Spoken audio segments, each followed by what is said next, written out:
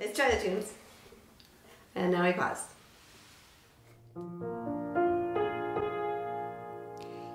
It's Toilet Tunes. I'm your host, Sarah Morris. Folks come to my big green bathroom somewhere north of Minneapolis, Minnesota. And we sing a little, we talk a bit,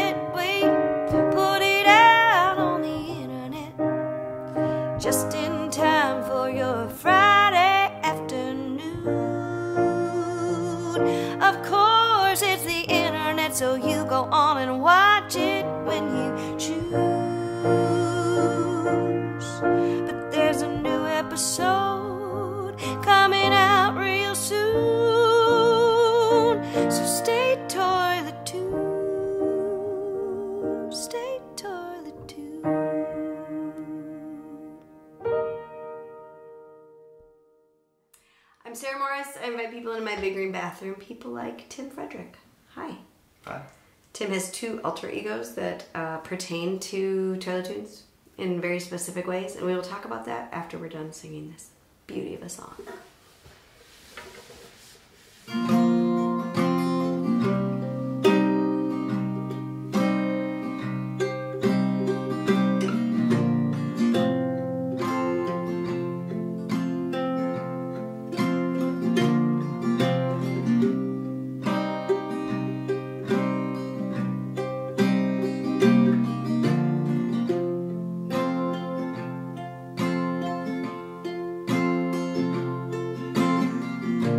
Call me the wheel. All I wanna do is roll it. From Tucson to Tulsa, it's long distance loving. What a lonely thing to call it. Don't be afraid, we'll be fine in the morning. Food on the table fine in the morning.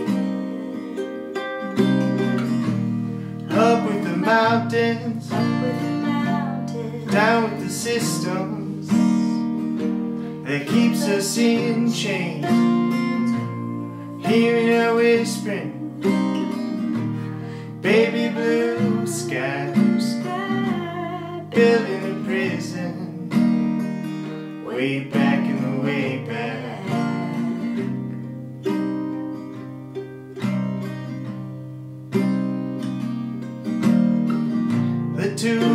are busted, the peace sign is broken. What is forgiveness? And what is atonement? I wanna go home. Stood out in the rain like some rock and roll scarecrow. Both hands are broken. Oh, the prophet has spoken. Can't deny that I'm lonesome. I'm lonesome, lonesome. Up with the mountains, Up with the mountain, down with the system down with the system. that keeps us in chains.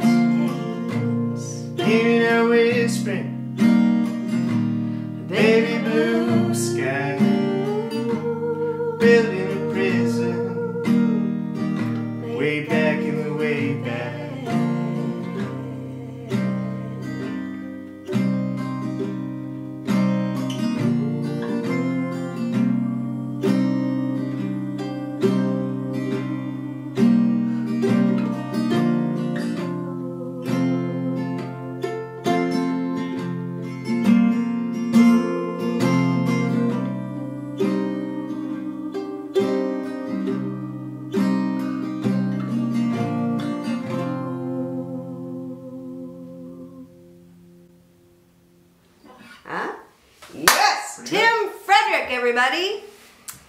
Hi. Tim Frederick is a part of Witch Hunter General. That's the band. That's the musician. Music. That's the guitar, the singing. Also, Tim Frederick is minimum wage Tim a coffee roaster. If you've been watching Toilet Tunes for the last few months, you know that I have a thing for coffee, specifically coffee roasters, because I think they're big dreamers that fuel other big dreamers, and I just think can't beat that. Okay, Tim, can you give us the 30 second where's EYZ of you? Like, where, where did you come from? Yeah, I grew up around here. I grew Yeah? up in Lakeville. Yeah, well, went to college at uh, UW Eau Claire, um, and then I moved back to Minneapolis right after that. Uh, when I was there, I did um, music, played saxophone a bunch. Uh, kind of started singing, but then I started doing that after I was in college. Okay. Um, yep, and uh, I also got into coffee there. Just brew it at home using an AeroPress. Yes. Uh, my saxophone professor that got me into it initially. so- Uh, we so we there you go. aeropress here. We aeropress. We also palm press. We have two different presses, but Love the press. I Press. know. So good. That's have a cool that you did that in college. That Yeah, you well, like already yeah. got that you already had a sense of like, I want to drink excellent coffee, not just coffee. Yeah, well, I was told that I should think that by my saxophone professor, but he was right, so I don't know. I feel I was a voice major in college, and I feel like the impact of your your professor, you know, your sax professor, my voice professor, cannot be understated. Mm. yeah, in Like, music school, it's a lot different than. Right. Like, I mean, yeah, you definitely have mentorship relationships in other like departments, but in Yeah. music, it's like really, you know, you're you're a little more connected sometimes to the the actual result, like what you're working on. So Yeah. when you're working on that, it's almost like there's a little bit of like therapy in there. you know, Oh. You're like a little too close to them. For sure. Yeah. For sure. Like at one point, I was using, we were using, we were sharing a Red Zone account on my EDU email. Yeah. And I was just like, you get too close. Enmeshment. Is what, but but it also is like just part of how it all goes. You didn't start singing till after college. yeah, because I wanted to to make music in a, in a different way. I was like, I, for a brief time, I'd moved back with my parents in the suburbs, and I'd come out to shows and stuff all the time and try to go to some jams.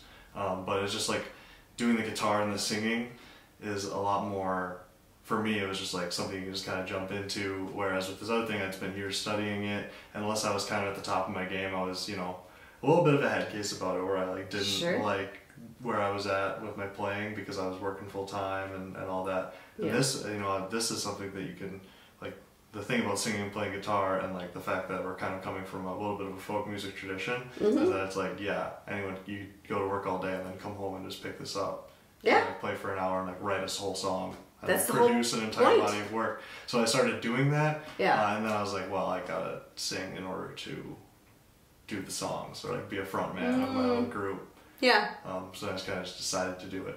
That's awesome. Worked on it, but it, you know, coming from an instrument, like learning an instrument background, a lot of it, like the first ten years or so of that process, it seems, if you start on an instrument as a kid Yeah. in middle school, is just like learning the music stuff and Yeah. like learning how to learn an instrument. Mm-hmm. And then once you do that, like I just kind of approached it the same way as saxophone and had a little bit of instruction. I had a church gig Yep. for a minute, which That's helped good. a lot, you know, with with uh, with being, you know, Getting really your feet consistent wet. and Bach also at a church gig. It helped him a lot.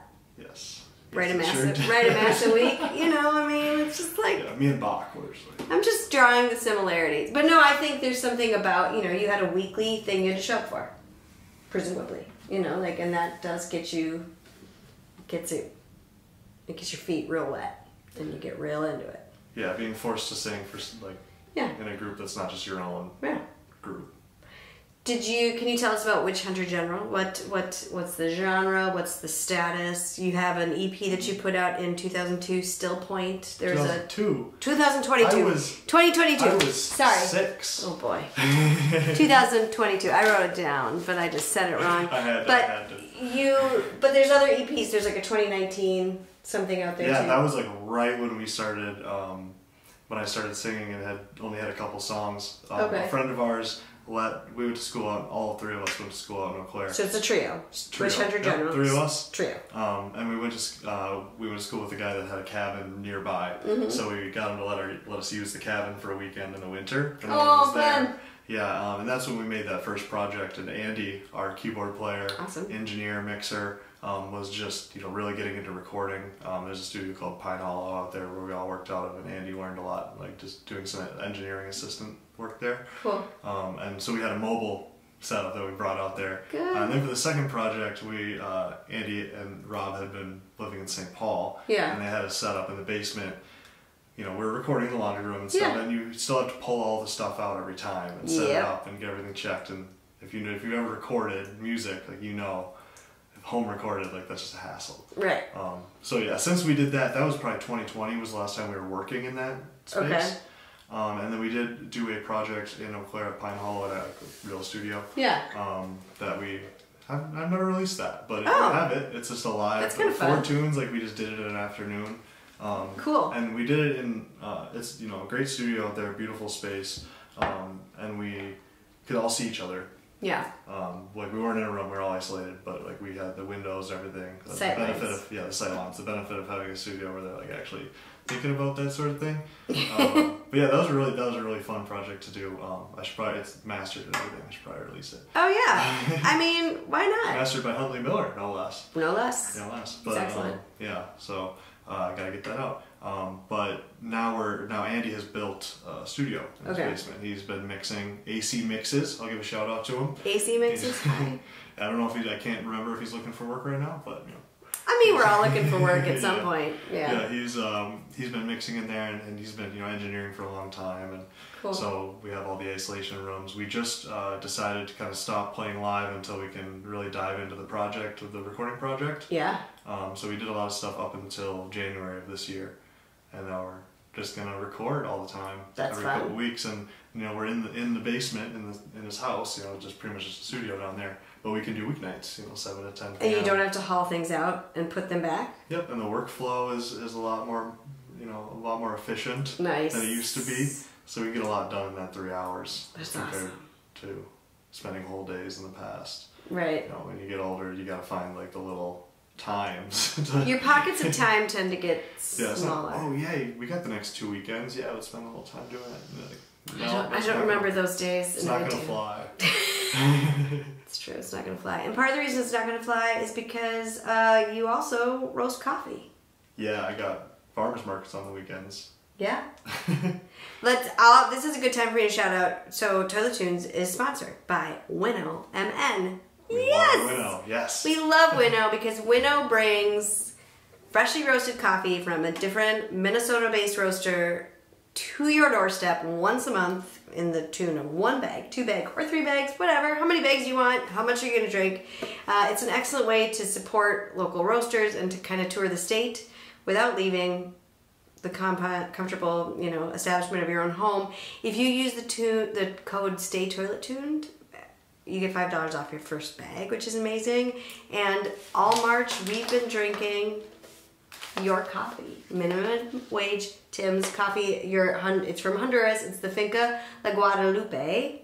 So you mentioned that your sax professor got you into the Aeropress. Is it also into roasting in some way, or like what was your path to putting beans in a bag? Yeah, the roasting was a bit of a separate path. Um, still a little Eau Claire based though. There Mm-hmm. was I could I'll shout them out. Soul Brewed Coffee. They're not around anymore, Oh. but they were uh, just kind of the fact that they did that when I was in Eau Claire and saw them do it, and we're in a lot of grocery stores and stuff. Yeah. Um, like just showed me that oh you can do this, and I was at would ask a lot of questions. with Yeah. Troy, who was who was uh, running it, and um, he was really helpful. You know, just teaching me a lot of stuff. You know, not specifics. At that point, I didn't even know I was going to roast. Cool. Um, but that just you know opened my eyes to the idea of it, uh, and then I started roasting at home in a little popcorn popper. Um, the process that you roast coffee is didn't like the same as a pop, like kind of. That totally makes sense. I have roasted coffee before, like, but my brain it was a big machine, so my brain did not draw the comparison to. Okay, cool. Yeah, it goes Go pop, on. pop, so we could all just be doing this. Yeah, well, you get those big bags of popcorn at the grocery store. Yeah. Like that's the, the they're in those big drums like that. Yeah. Same kind of thing, and you get corn every once in a while in in coffee. Ah. And we'll see. Will find its way in there, and you'll get some popcorn. Tasty. Buttered popcorn I've seen is a note. I don't know that I want No, yeah. just yeah. straight corn, but maybe I do. Maybe I do. Uh, I yeah, but after I was doing just the, the roasting in my kitchen, you know, thing, um, I ordered. I was kind of like on some forums and things like this. It, this was before COVID, but this bled into COVID, so a lot of it was like yeah, just like forums and things like that. Yeah. Um, I found Um, someone that makes roasters in um, South Korea, and so I had one sent. It was like just a few hundred bucks, but it's basically a miniature version of like a, gi- a big roaster, which Okay. is a drum over a flame. Um, Sure. and so, but what I did is I used a camp stove for the flame. Um, you got it, and the pressure would be a little different, so you had to account for that. So it was not exactly perfect.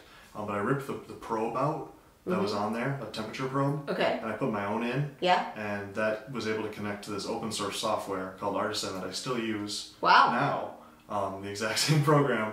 Um, you just kind of have to convert the, get a couple extra things to convert the data if you're just using an external probe. Okay. Um, so I was able to track all my roasts from an early, like very from the very beginning. Uh, and then I also took the top off and inserted like um, some. The only thing I could find that was heat resistant that was small enough was motorcycle exhaust piping.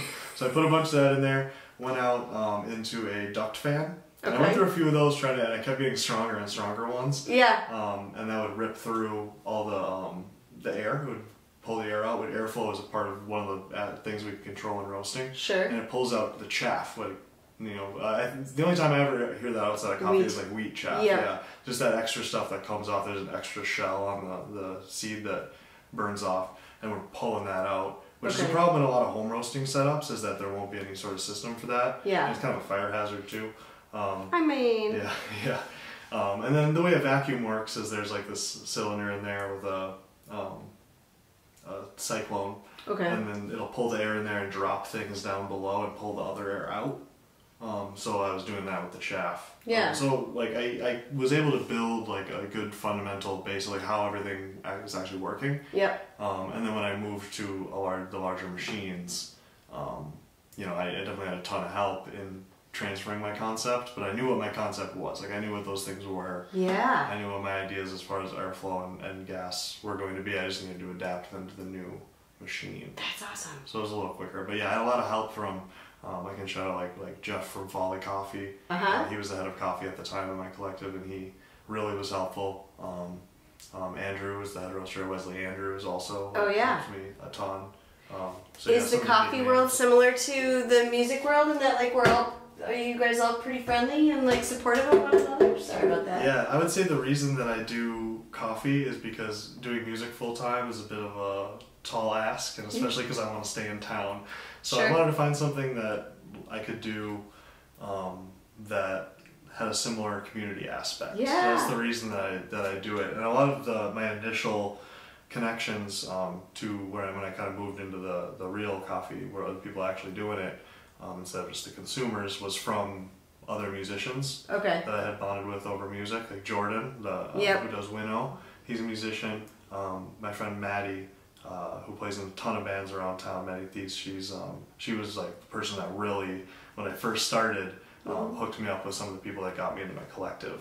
Cool. Um, they had worked at SK for a while, and that, I that was love their SK. connection. Yeah, that was their connection Delicious coffee. to coffee. Um, but we had initially bonded over like some music stuff. And, Yeah. Um, yeah, there's just so much, so much crossover. I knew it. I knew there was.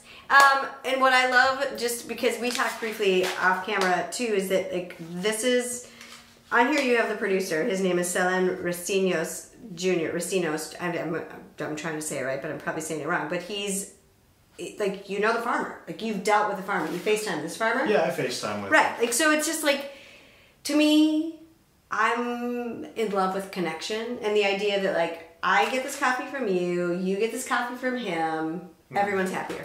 And my favorite thing about that is just the connections that are kind of organic. Like the, Yeah. the way that I ended up getting in contact with this farmer is through another person that I'm much closer with. Yeah. The one that he was translating for me on the, the FaceTime call and um, and and building those relationships kind of slowly and surely. And then in the future, hopefully, I can be you know having more direct dealings. But then of course, I'll always honor the fact that. Um, Andros um, from Sema Cafe was the one that set me up with these coffees. Yeah. So it's always going to be going through him, um, and just like keeping that that chain. Yes. Because he, because you know, sometimes these people that are in, doing the importing are like really on the ground doing the important things to, like, get the coffee made and like Yeah. make sure the people that are making the coffee are in a good position. Yep. Um, and you know, just as roasters on this end, unless you're a larger, you know, operation that is doing those things, as I'm sure there are.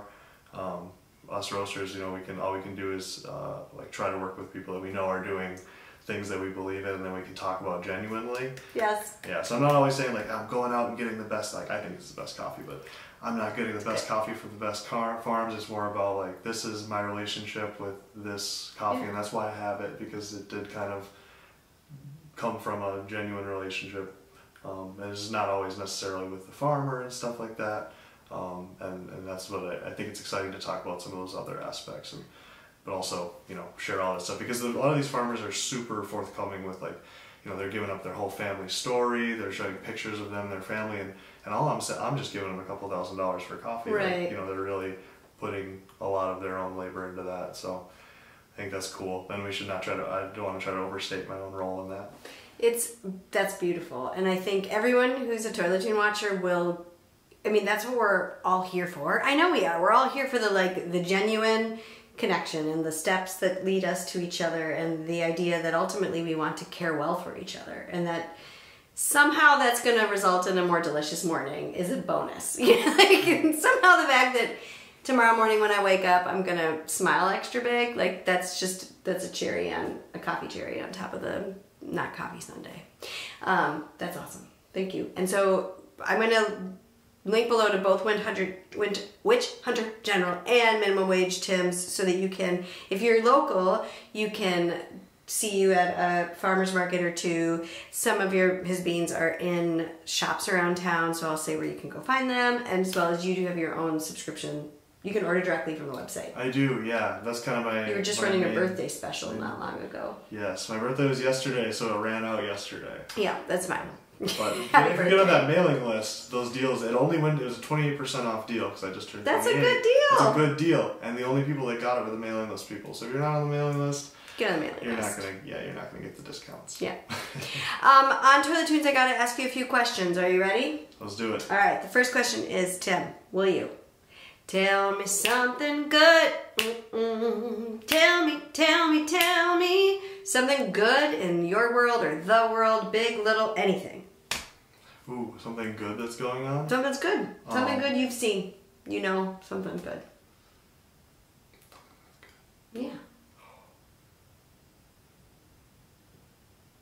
I have to do a little editing here.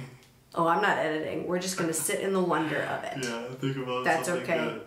Yeah. Yeah. You know well, You know something good right Yes. after this? My friends put together a little birthday hang for me when I didn't even have to ask them to do it. Oh, that is So good. this was some strong male friendship. Oh, that a birthday hang is good. We love to see it. I love it. The older I get, the more removed I get from my birthday. Some of that was like having kids, and I was like, I don't. My four year old doesn't want to throw me a party. You know what I mean? Yeah, yes. But as I get older again, I'm starting to embrace the celebration Mm-hmm. again. Why not? Right. Well, good. I like that. Friends are good. Birthday's good. That's something good. Yeah, it is. Uh, the next question is, where are you learning right now?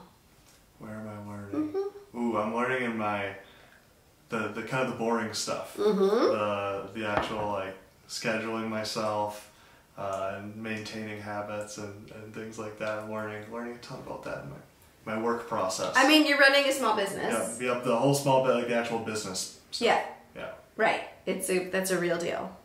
Uh, that's a good place. Um, so where are you learning is like right now what's happening, but the next question is that but what's kind of always there for you? What's the steady beat of it for you? Something that you can return to time and time again in a dependable way to like support you, restore you, a steady beat. Which I, I always say a steady beat and then I don't give a steady beat. Let me give you a steady beat. What is the thing? well, is Yeah. it is it uh is it generic to say my wife? That was Or beautiful. not? Yeah. Yeah. It's well, one, she's your specific wife. So there's so it can't be generic because she's just your wife. Um, but no, that's not. That's beautiful. Yeah, that's Yeah. what we're working for. Yeah, for the family, you know, the business That's and all that. Yeah, It's good to have a partner that you can rely on like that. Sure is. Yeah, it is. Uh, and the last question is: Will you take us, Tim, by the ear and spin us out into some music you're listening to that's inspiring you in some way? I like to say that it's getting your ears hot. Mm. I've been listening to Indigo De Souza's last album a lot last couple weeks. Okay, what's that? Do you know what that's Uh, called? Time will tell. Time I Will is Tell. the, the name of the album. Yeah, and War Paint. And War Paint. War Paint. Okay. I will link below. How would you classify Witch Hunter general music? What's your genre? I hate genre questions, but We have a name of our genre. If you look at our album cover, you'll notice the name on there. It's kind of a bit with the, with the fellows. Yeah. It's called Omnifolk. Omni folk. You know, and we always say that that uh, Justin Vernon invented Omnifolk when he put out uh, For Emma, Forever Ago, Sure. Bon Iver. Yeah. Um, but Uh, uh, Eau Claire evolved. specialty. Yes, an Eau Claire special. So so we come from that. That Yeah. influence for sure. A lot of like, like acoustic, you know, I'm playing acoustic guitar, but Yeah. um, and we have upright bass, but there's a lot of synths, and um, we've been uh, we've been messing around with the drum machine. We'll see if that ends up on the on the next project, but That's it could be fun. Yeah, we'll bring in a lot of we're gonna bring in a lot of friends to record too, so sound might get even a little bit bigger. Oh, I'm Yeah, excited. synths and things. Will so you can follow I know Witch Hunter General on Instagram so that whenever this recording is ready to come to life, people will Yes, People that's know right. about Witch, it. Witch Hunter General Music on Instagram. Yeah. Yes. Uh, thank you so much for being here. Thank you for having me. It's We're been a gonna- great time. Yeah, we're gonna talk quickly again about the sponsors. Okay, so we're gonna mention Winnow one more time. Go to Winnow right now. Use code Stay Toilet Tune for five dollars off your next bag. We're entering April soon. There will be a new roaster, but this is my the second time minimum wage Tim has actually appeared in my queue, if you will. So I'm just saying you should go do it. And then sign up on the email list. And coffee is our favorite. Thank you, Winnow, for supporting Toilet Tunes. And the other sponsor I have is our friends at the Wyoming. I'm to get it wrong. It's WCAC, Wyoming Area Creative Arts Council. I actually think that might be right this time. I could write this down and like get it right, but I think we're just to watch Sarah stumble publicly until I find it. They're wonderful. They do all kinds of art there. There's lots of programming that you can take part in and versus like with classes or you can go witness visual arts they're always running different um, galleries but they once a month have songwriters in the round a pin drop quiet space um, listeners who come to have their hearts moved which is kind of what you know we're in the business of hopefully the next one is april 25th it's mary bue charlie roth and dan israel I'm buddies with all of them. Mary and Dan have both been in the big green bathroom. Charlie, I think I could, I think he'd maybe say yes if I asked him really nice. But I can tell you that those are three top notch songwriters. So if on April 25th, Thursday night, you're available, Wyoming is just a little bit north of the Twin Cities, but bonus, they live stream every songwriters in the round. So I encourage you to follow WCAC and see if I got it right. Wyoming Area Creative Arts Council. I'm, I'm going with that one. Yeah, Wyoming's a big area. I'm just kidding. I know. I know. It's What the, an I know it's the town. I know it's the town. It is a town, but I do feel like so. There's like Wyoming, Isanti, Cambridge, like their whole area up there, North Branch. I've Henriette, Harris. There's like a lot of towns that kind of feed into that area, and it is a really artistic. There's like a lot of art going on. So the woods like will do that. the woods will do that. That sounds like a song title. Yeah. I like it. My Sarah subscribers, Sarah subscribers, I can't even say it, but I do nothing without you over at Patreon. Oh my word. These are my favorite. They're not all here with me still because that's how life goes, right? But it's pretty beautiful. All you do is you sign up once and you're a heart forever. Sarah subscribers, thank you. Tim Frederick, Witch Hunter General, Minimum Wage Tim.